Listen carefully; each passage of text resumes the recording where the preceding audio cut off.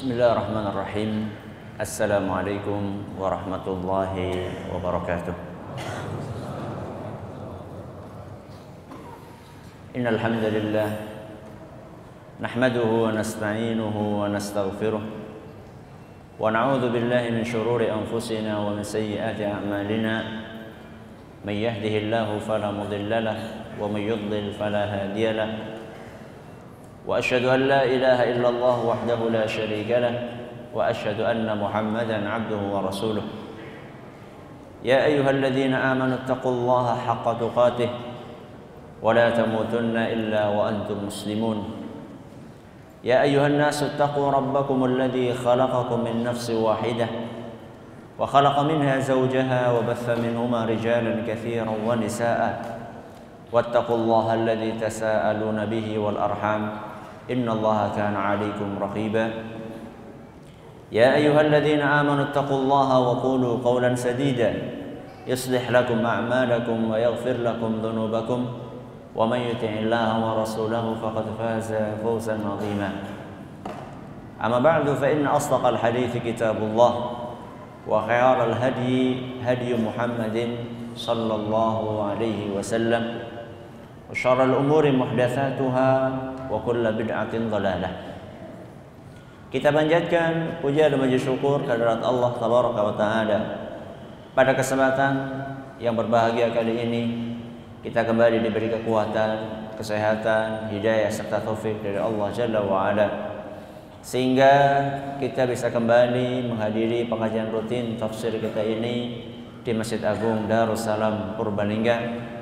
Kita berharap semoga Allah tabaraka wa taala berkenan untuk melimpahkan kepada kita semuanya ilmu yang bermanfaat sehingga bisa kita amalkan sebagai bekal untuk menghadap kepada Allah Jalla wa ala. Amin ya rabbal alamin.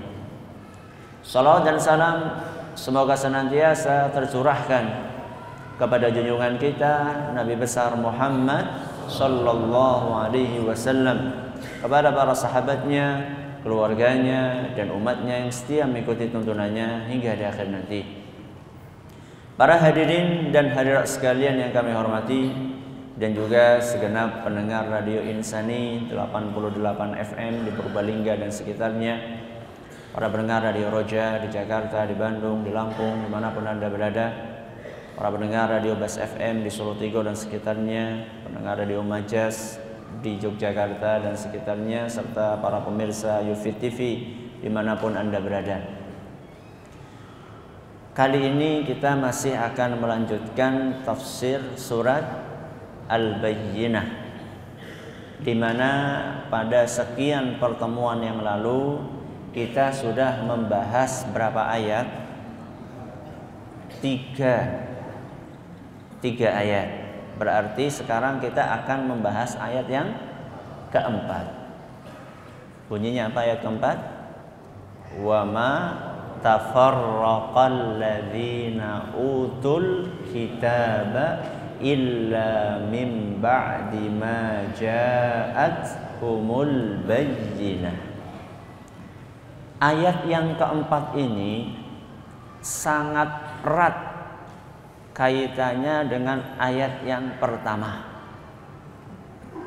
Ayat yang keempat ini sangat erat hubungannya dengan ayat yang pertama.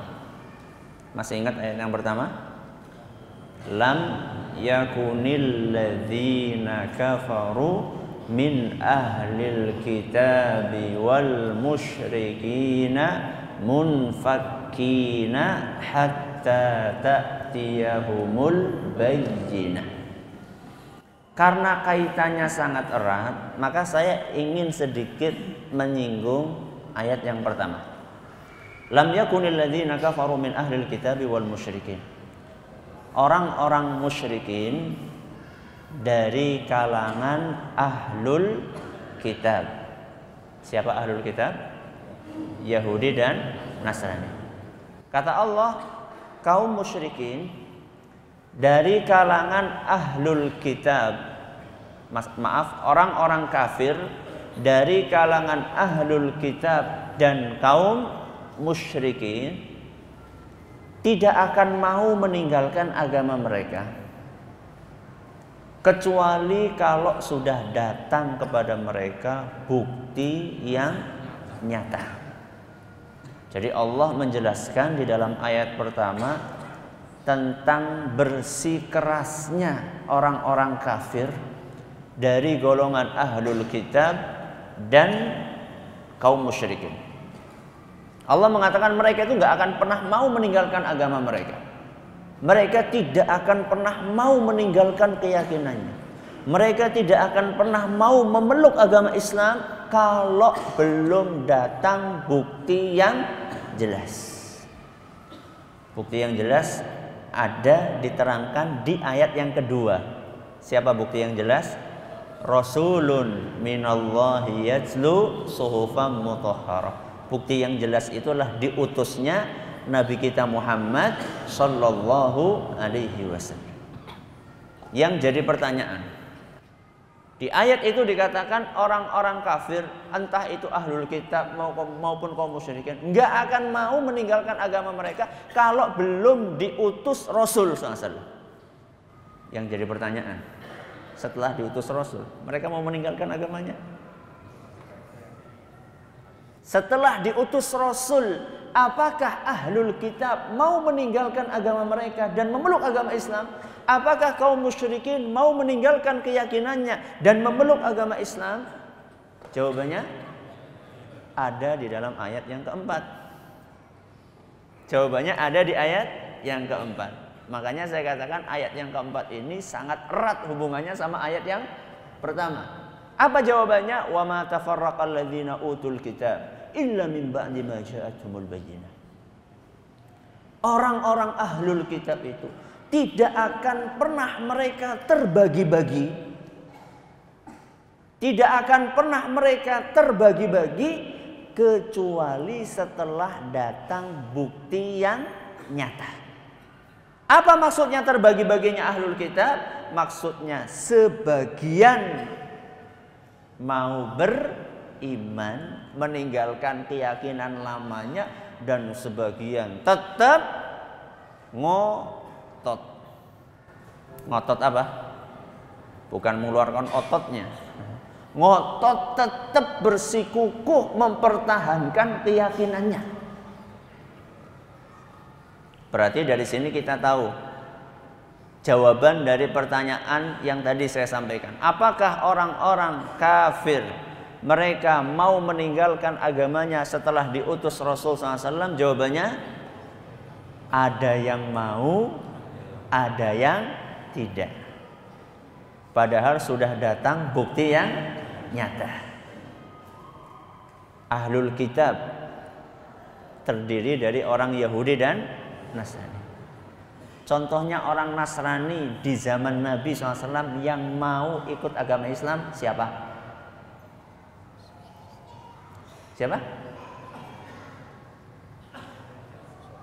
Siapa? Najasyi. Raja Najasyi. Raja Najasyi itu rajanya negeri apa?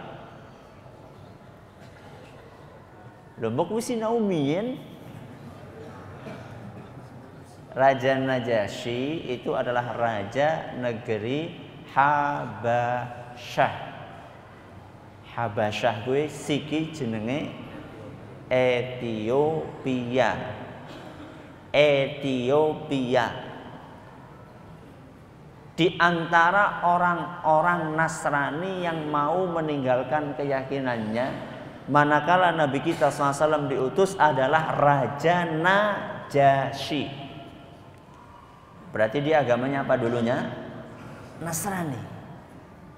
Cuman karena posisinya yang sulit dan bawahan-bawahannya nggak ada yang mau ikut agama yang dianut oleh Najasyi ini alias bawahan-bawahannya orang-orang kepercayaannya itu pada tetap mempertahankan agama Nasrani-nya Raja Najasyi ini nggak mengumumkan kepindahan agamanya berarti dia sem menyembunyikan keyakinan barunya.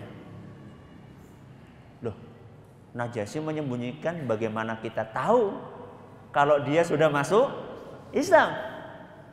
Tahunya ketika Najasyi meninggal. Ketika Najasyi meninggal, Nabi kita Muhammad SAW apa? Salat goib. Nyolati siapa? Nyolati Raja Najasyi. Terus kenapa Ustaz? Ya iyalah kalau misalnya dia masih Nasrani nggak mungkin disolati sama Nabi Shallallahu Alaihi Wasallam. Saat Nabi Shallallahu Alaihi Wasallam nyolati Najasyi itu menunjukkan bahwa Najasyi ini sudah menjadi Muslim. Ini contohnya orang Nasrani masuk ke dalam agama. Kalau orang Yahudi contohnya ada nggak? Ada nggak contohnya? Siapa? Bukan, itu Nasrani. Yahudi?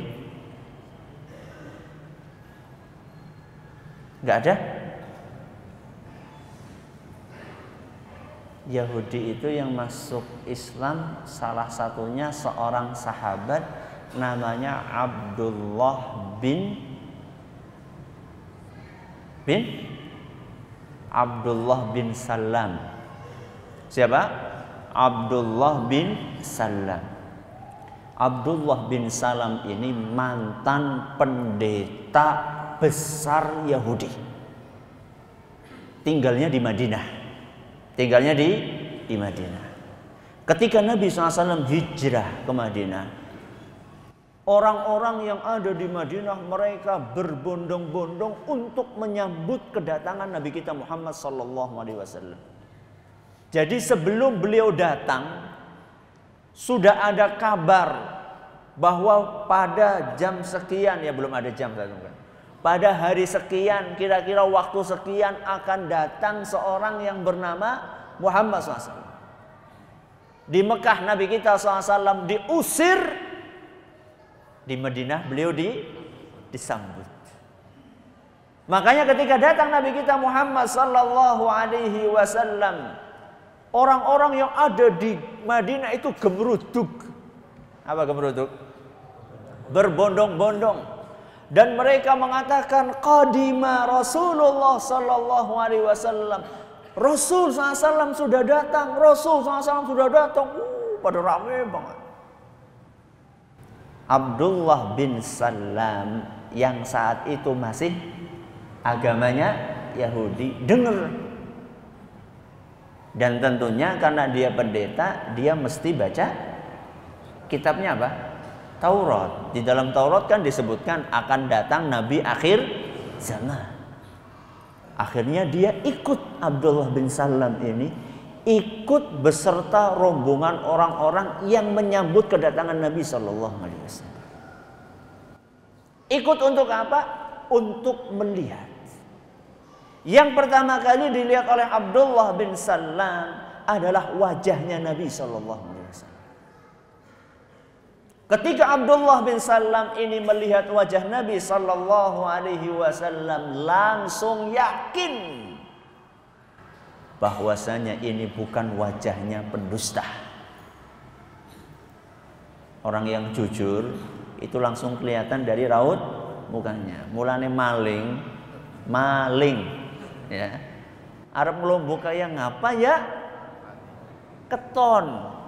Ya. Maka kalau maling itu mendingan apa? Ngaku baik, rasa kakean ngomong. Ya. Karena apa? Karena dari rautmu sudah ketahuan. Apalagi Rasul Shallallahu Alaihi Wasallam. Orang yang sangat jujur, yang mendapatkan gelar Al-Amin, yang terper, yang terpercaya.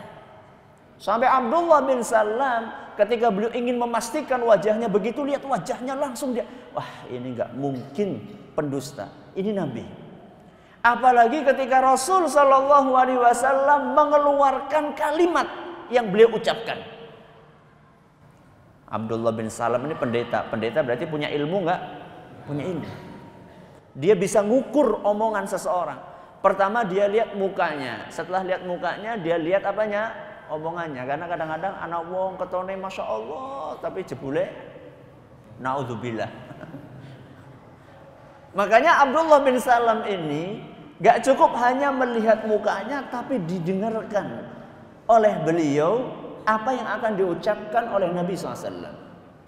Di antara kalimat yang pertama kali diucapkan oleh Nabi Shallallahu Alaihi Wasallam, manakala beliau datang ke kota Madinah, kata beliau, "Ayyuhan nas, wahai para manusia, afshus salam."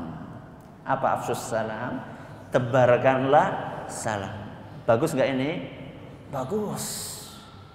Kemudian kata Nabi SAW, wa at'imut ta'am. Gemarlah kalian memberi makan kepada orang lain. Bagus nggak ini? Bagus. Ini ajaran sesama manusia. Ajaran sesama manusia. Hablum minan nas. Nabi SAW nggak cuma mengajarkan itu. Setelah mengajarkan supaya menebarkan apa tadi? Salam, kemudian suka memberi makan sama orang lain, Nabi Shallallahu alaihi wasallam mengatakan wasallu wan nasuniyam. Salatlah kalian ketika orang-orang lagi pada tidur. Salat apa gue? Salat tahajud. Kancane lagi pada ngeleder, iki malah sholat. Ini hablum minallah. Langsung paham itu Abdullah bin Salam. Satu persatu diperhatikan. Setelah itu Nabi SAW mengatakan, Tadkhulunal jannata salam.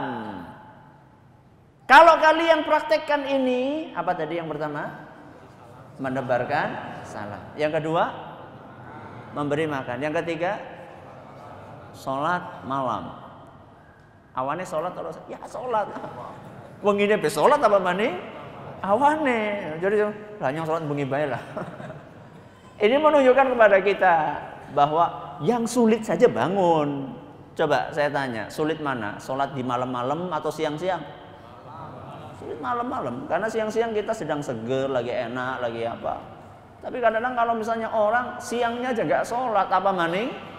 Begini. Kalau tiga ini dipraktekkan kata Nabi SAW tadkhulunal jannata bisalam. Kalian akan masuk ke surga dengan penuh kedamaian. Begitu mendengarkan ucapan Nabi SAW. Setelah melihat wajahnya Nabi SAW, Abdullah bin Salam langsung masuk ke dalam agama Islam asyhadu an la ilaha illallah wa asyhadu anna muhammadar rasul. Hadis riwayat Tirmizi dan dinyatakan sahih oleh beliau. Contoh orang yang masuk Islam. Contohnya yang pertama dari orang Nasrani siapa? Raja Najasyi. Yang kedua siapa? Abdullah bin Salam. Abdullah bin Salam. Kalau kita perhatikan baik-baik, ada nggak bedanya antara ayat keempat dengan ayat yang pertama? Ayat yang keempat ini kelanjutan dari ayat yang pertama. Kalau kita perhatikan baik-baik, ada sedikit perbedaan. Ayat yang pertama coba dibaca. Lam yakunil ladzina kafaru min ahlil kitabi wal musyrikin. Mungfakin. Ayat yang keempat apa? Wa ma tafarraqal ladzina utul kitaba illa min ba'di ma ja'atuhumul. Di ayat yang pertama disebutkan dua golongan orang-orang kafir. Kaum musyrikin dan ahlul kitab. Di ayat yang keempat dua golongan? Dua apa satu? Dua apa satu? Satu. Wa ma tafarraqal ladzina utul kitab. Berarti di ayat yang keempat itu cuma disebutkan ahlul kitab. Duh, orang-orang musyrikin ke mana? Di ayat yang keempat disebutkan bahwa ahlul kitab setelah diutusnya Nabi Muhammad SAW ada yang beriman, ada yang tidak. Terus orang-orang musyrikin gimana? Sama nggak? Sama nggak kaum musyrikin? Sama apa beda? Beda apa sama? Sama. Kok nggak disebutkan di situ? Jangan-jangan orang-orang musyrikin masuk Islam semuanya? Iya. Ora. Justru kaum musyrikin ada yang permusuhannya luar biasa. Bahkan pamannya Nabi SAW. Siapa itu? Duo Abu. Abu Jahal sama Abu Abu Lahab. Ya. Dua orang Abu Jahal sama Abu Lahab. Ini benci sekali sama Nabi SAW. Kenapa kok orang-orang musyrikin di ayat yang keempat ini nggak disinggung sama sekali. Kok yang disinggung cuma ahlul kitab saja. Panjenengan, sebelum saya jelaskan seperti ini, ketika dulu-dulu membaca surat Al-Bayyinah, kepikiran apa enggak? Pertanyaan ini. Enggak kepikiran ya. Lebih kepikiran sih ya. Karena para saya juga nggak kepikiran. Saya baru kepikiran ketika para ulama menjelaskan ini. Ketika baca-baca buku-buku tafsir, masya Allah ya, ulama itu sangat apa? Sangat jeli, ya. teliti banget para ulama kita. Loh terus hilang mengendi kayak kaum musyrikin jadi orang nana lagi. Subhanallah. Terus kenapa kok tidak disebutkan kaum musyrikin? Sebab ahlul kitab itu lebih banyak ilmunya dibandingkan orang musyrikin. Kenapa Ustadz lebih banyak ilmunya? Karena ahlul kitab itu punya kitab. Punya pedoman. Orang Yahudi punya Taurat, orang Nasrani punya Injil. Berarti ilmunya akeh. Kaum musyrikin punya kitab nggak? Nggak punya. Dan terus pedomannya kaum musyrikin apa? Jerene jerene. Katanya dan katanya. Mereka nggak punya kitab, cari saja kitabnya kaum musyrikin nggak ada. Yang ada mereka adalah katanya dan katanya sebagaimana yang dijelaskan secara tegas oleh Allah Subhanahu wa taala dalam Al-Qur'an surat Az-Zukhruf ayat 22. Dalam surat Az-Zukhruf ayat 22 Allah Subhanahu wa taala berfirman, "Qalu inna wajadna aba'ana ala ummah." Ketika kaum musyrikin ditanya, "Kenapa kok kalian seperti ini?"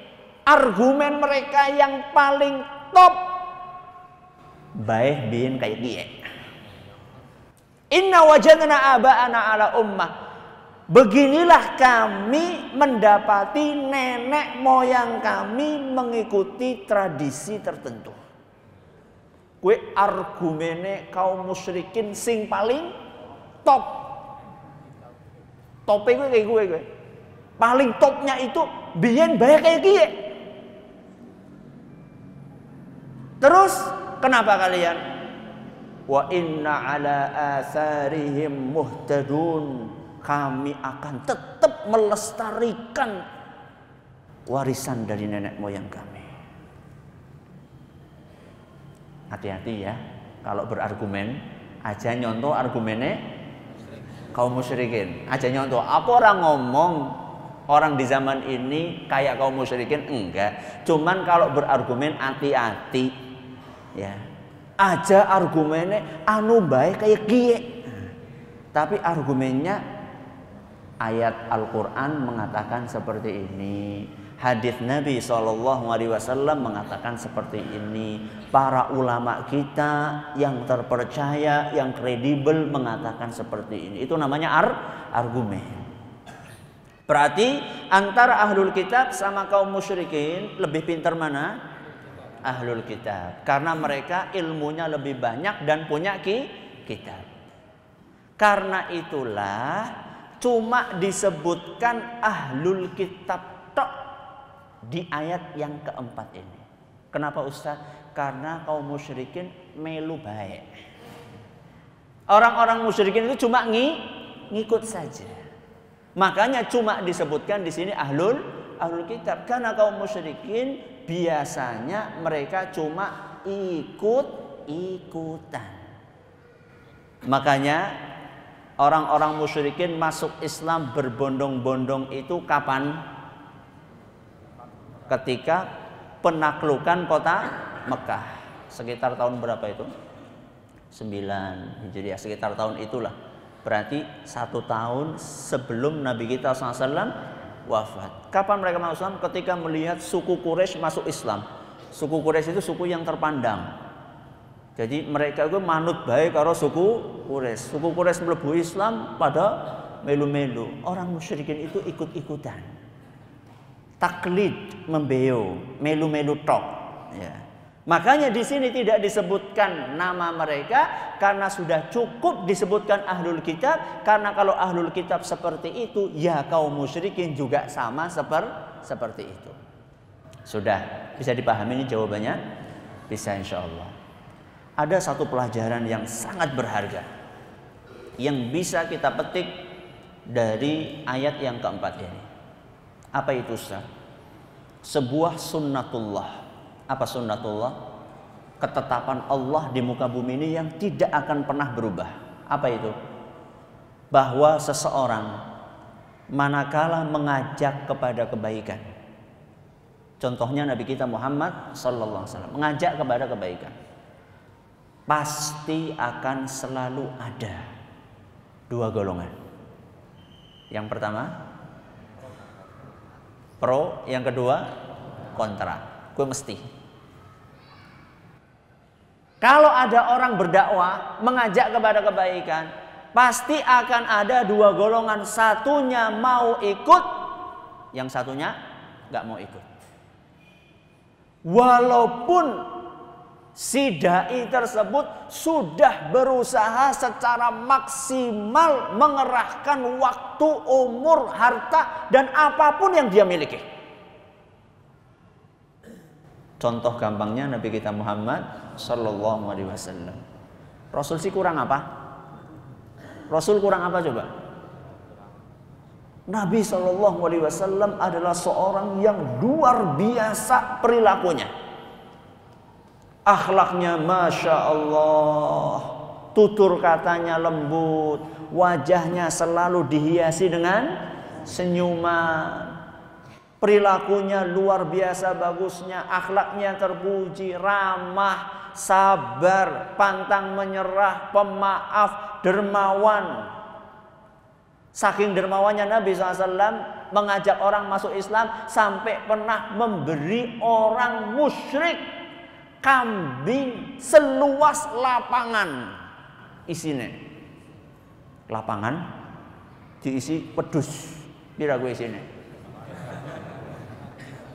Satu lapangan diisi kambing.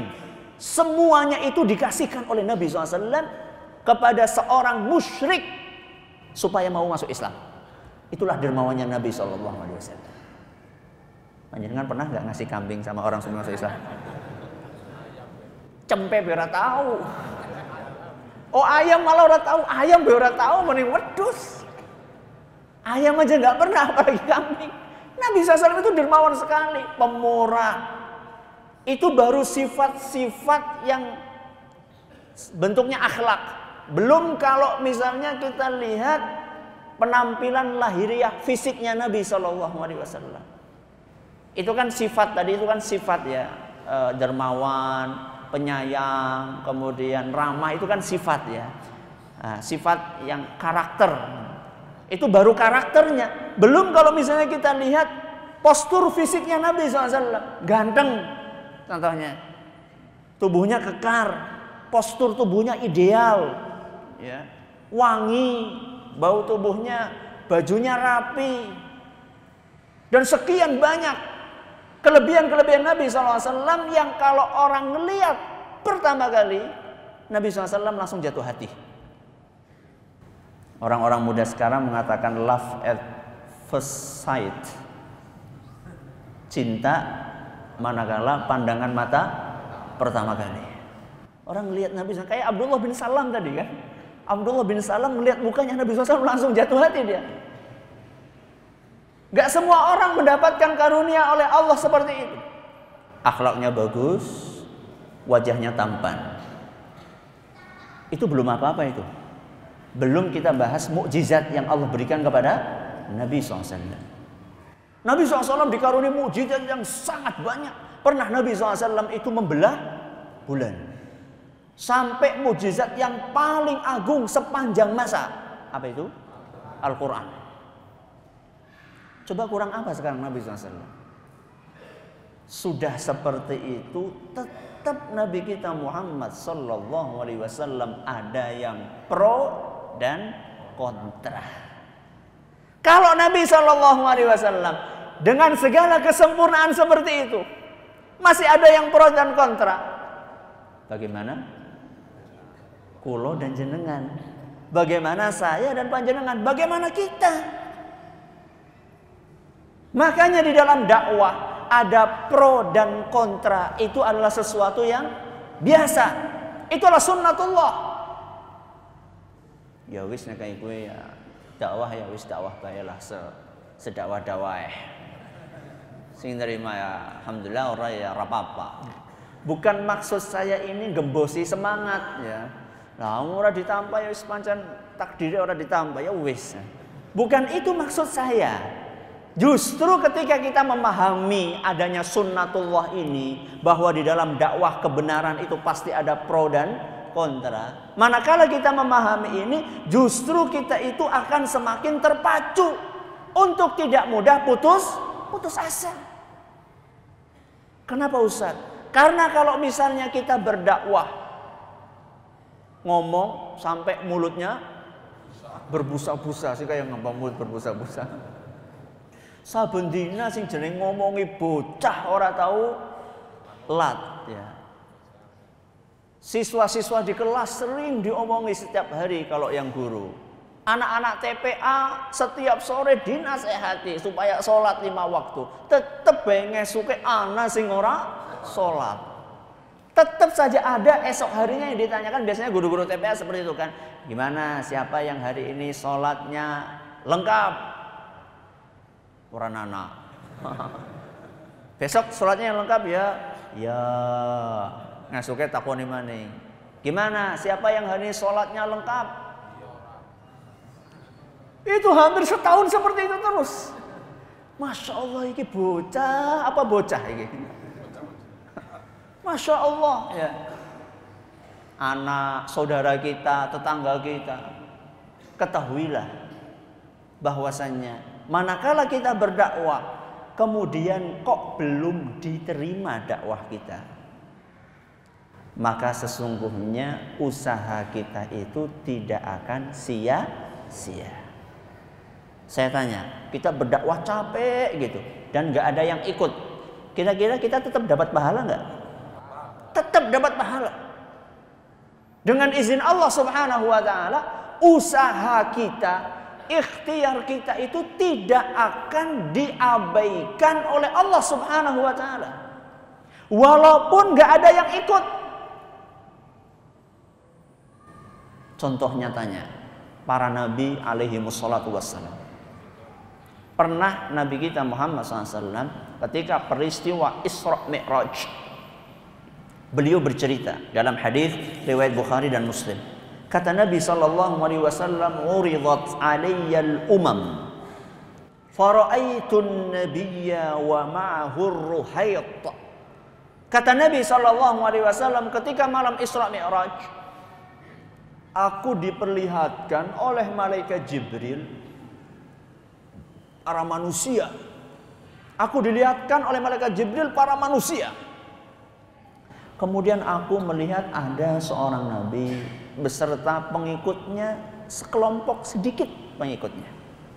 Oh itu Nabi Anu beserta dengan pengikutnya sedikit.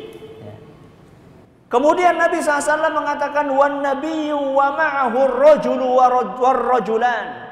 Kemudian aku dikasih tahu lagi tuh ada Nabi Anu pengikutnya cuma dua. Tuh Nabi Anu pengikutnya cuma satu. Dan yang lebih mengenaskan dalam tanda kutip, wan nabiyya laisa ma'hu ahad. Dan aku diperlihatkan ada seorang nabi datang gak ada pengikutnya. Nabi datang, dek dek dek dek dek dek. Orang nasi ya beberbelas. Jadi Nabi SAW di malam Isra Mi'raj diperlihatkan ada nabi yang pengikutnya sekelompok kecil, ada nabi yang pengikutnya cuma dua, ada yang nabi pengikutnya cuma satu, bahkan ada nabi yang sama sekali tidak ada pengikutnya. Siapa di antara kita yang berani mengatakan nabi yang gak ada pengikutnya tadi itu gagal dalam berdakwah? Siapa coba? Ada yang berani mengatakan seperti itu? Gak ada di antara kita yang berani mengatakan, oh Nabi Anu dakwahnya gagal. Gak ada. Nabi yang gak ada pengikutnya itu kira-kira dapat pahala nggak? Dapat pahala. Insya Allah mereka dapat pahala karena mereka berdakwah. Allah subhanahu wa ta'ala menghargai sebuah proses dan usaha. Maka manakala kita berdakwah, tidak usah kita itu melihat hasilnya.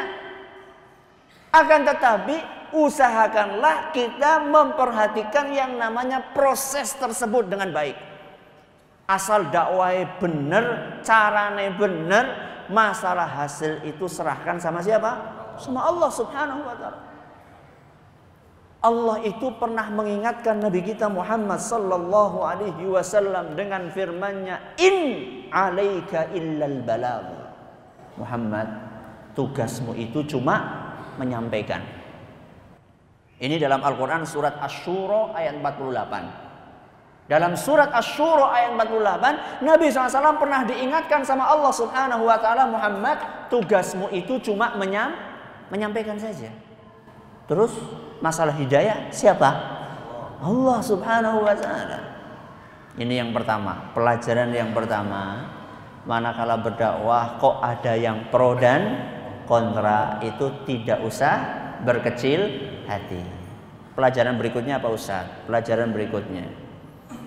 Kalau misalnya kita berdakwah, kemudian nggak ada satupun yang menerima, bahkan sampai kita meninggal, tidak apa-apa. Kenapa Ustaz? Karena bisa jadi masyarakat akan mengikuti dakwah kita malah setelah kita meninggal pas anak disia-sia pas orang anak digoleti dan itu kejadian banyak ketika ada disia-siakan ketika gak ada ya Allah penak temen ya zamannya anak pak anu sing biasanya adzan sing biasanya komat ngimami jadi makmum bareng orang anak sepi padahal dulu ketika dia berdakwah capek ke sana kemari, nggak ada satupun yang ikut. Setelah meninggal baru kerasa. Memang yang namanya nikmat itu biasanya kerasanya ketika nggak ada. Ketika nggak nggak ada. Kalau nggak percaya, panjenengan tahu nikmatnya gigi sehat. Kapan? Ketika gigi sehatnya nggak ada. Maksudnya ketika kesehatan itu nggak ada alias ketika sakit giginya panjenengan baru sadar nikmatnya apa ya selain gigi bernafas kapan ketika satu lagi pilek. Ya Allah rasanya pegane pol. Kedua nggak pilek tapi kena penyakit asma. Rasanya masya Allah. Itulah nikmat. Jadi ketika kita berdakwah kok sampai meninggalnya nggak ada yang ikut, nggak apa-apa. Bisa jadi Allah Subhanahu wa taala menakdirkan dakwah kita akan diikuti oleh masyarakat justru setelah kita meninggal dunia. Dan itu banyak sekali. Para dai, para ulama yang seperti itu contohnya terlalu banyak. Dan yang paling gampang contohnya adalah Nabi kita Muhammad Sallallahu Alaihi Wasallam. Nabi kita SAW ketika beliau meninggal, berapa jumlah kaum muslimin? Ketika Nabi SAW meninggal, jumlah kaum muslimin berapa? Sekitar 100 ribuan. Banyak nggak? Saat itu banyak. jumlah kaum muslimin sekarang berapa? Pernah ada survei tingkat dunia jumlah kaum muslimin? Kira-kira, kira-kira berapa? Berapa miliar? Coba antara 100 ribu, katakanlah 1 miliar. Antara 100 ribu sama 1 miliar. Atau ora? Atau wepol. Nabi Shallallahu Alaihi Wasallam sampai wafatnya tidak menyaksikan umatnya jumlahnya sampai satu miliar. Manakala Nabi SAW tidak menyaksikan buah dari dakwah beliau yang sedemikian banyak jumlah pengikutnya, apakah Nabi SAW tidak dapat pahala? Dapat. Setiap orang yang masuk Islam, Nabi SAW dapat pahalanya. Dan sebanyak jumlah kaum muslimin, sebanyak itu pula pahala yang dirasakan dan mengalir kepada Nabi kita Muhammad SAW. Berarti pahalanya Nabi SAW banyak enggak? Masya Allah. Penak ya jadi Nabi ya. Jangan gak usah cita-cita jadi Nabi, gak usah. Gak mungkin. Nah, bisanya itu bercita-cita menjadi pewarisnya Nabi. Siapa pewarisnya Nabi? Ulama. Innal ulama awarasatul anbiya. Ulama itu pewarisnya Nabi. Ya orang ketang ulama guru ngaji TPA ya orang apa-apa lah. Lu jangan meremehkan panjenengan ngajar TPA yang diajar 10 anak. Yang diajar berapa? 10 anak. Mulai dari nggak bisa baca Quran sama sekali. Orang ngerti sing jenenge huruf ba karo tak bedanya apa? Orang paham sama sekali. Jenengan pertama pulang abata abata baba abata pelan-pelan bolak-balik. Ya bocah ya Allah halaman pertama orang pindah-pindah. Ujarku dibaleni ben ngesok orang mangkat ternyata mangkat baik. Tapi panjenengan tetap sabar sabar sabar. Sampai bisa baca Quran. Sepuluh anak lulus kabeh bisa baca Quran. Selama anak-anak itu membaca Al-Quran sampai meninggal selama itu pula panjenengan mendapatkan pahalanya. Dan bukan cuma itu. Manakala anak-anak itu punya anak dan ngajari anak-anaknya dan anak-anaknya dia jadi guru TPA dan punya murid-murid, murid-muridnya itu besar, punya anak dan anaknya itu jadi guru TPA lagi. Sampai kapan itu? Itulah contohnya amal jariyah. Maka bersyukurlah panjenengan kalau ada waktu yang tersisa sore-sore untuk ngajar TPA. Jadi jangan merasa oh, jangan TPA sepucah angel-angel urung pada adus mabuk. Sing pola, sing playon, masya Allah. Pahalanya itu luar biasa menggiurkan. Kata Nabi SAW, Man dalla ala khairin falahu mithlu ajri fa'ilihi. Barang siapa yang mengajarkan kebaikan, maka dia akan mendapatkan pahala seperti orang yang mengamalkannya. Hadis riwayat Muslim. Maka jangan sampai ada jamaah sekalian rumahnya dekat musola sampai TPA-nya mati karena nggak ada yang ngajar. Oh jangan sampai panjenengan akan ditanya nanti hari kiamat Saben malam kemis ngaji, TPA nganti mati sih kepriwe, ilmune nang ngendi? Ditanya nanti pada hari kiamat. Ya wis lah ngesuknya ngomong ngaji maning malam kemis. Salah. Justru saya akan berusaha untuk ngaji supaya pintar baca Quran, nanti saya ajarkan. Itulah amalan yang bisa kita banggakan, yang bisa kita andalkan dengan izin Allah pada hari kiamat. Lo apa sih sekarang? Sugih ora, Kaya tidak. Mau amal jariah apa? Duit nggak punya. Anak soleh ya bocah ya kayak gue lah umumnya bocah. Terus apa yang mau kita andalkan amal jariahnya? Paling tidak yang ngajarin Al-Quran sama anak-anak kecil. Dan jangan pernah meremehkan hal itu. Sesungguhnya amalan yang kecil bisa berubah menjadi besar dengan niat. Dengan apa? Niat. Kata Nabi SAW, rubba atau kata para ulama rubba amalin saghirin yukabbiruhun niyah. Betapa banyak amalan yang kecil akan berubah menjadi besar karena niat. Niatnya ih, ikhlas. Sebaliknya rubba amalin kabirin tusaghiruhun niyah. Betapa banyak amal yang kelihatannya besar berubah menjadi apa? kecil gara-gara niat yang tidak ikhlas. Semoga apa yang kami sampaikan bermanfaat. Masih ada waktu? Cukup? Saya kira cukup sampai di sini. Wallahu taala a'lam. Nanti ada yang kira-kira habis Isa ada yang bertanya nggak? Ada satu, satu dok. Kalau enggak dua, ya sudah tidak apa-apa. Nanti pada Isa ada tanya jawab insya Allah. Tapi nggak lama-lama. Semoga Allah Subhanahu wa taala mengaruniakan kepada kita semuanya ilmu yang bermanfaat. Terima kasih atas perhatiannya. Mohon maaf atas segala kurangnya. Kita tutup dengan membaca subhanakallahumma wa bihamdika asyhadu an la ilaha illa anta astaghfiruka wa atubu ilaik. Assalamualaikum warahmatullahi wabarakatuh.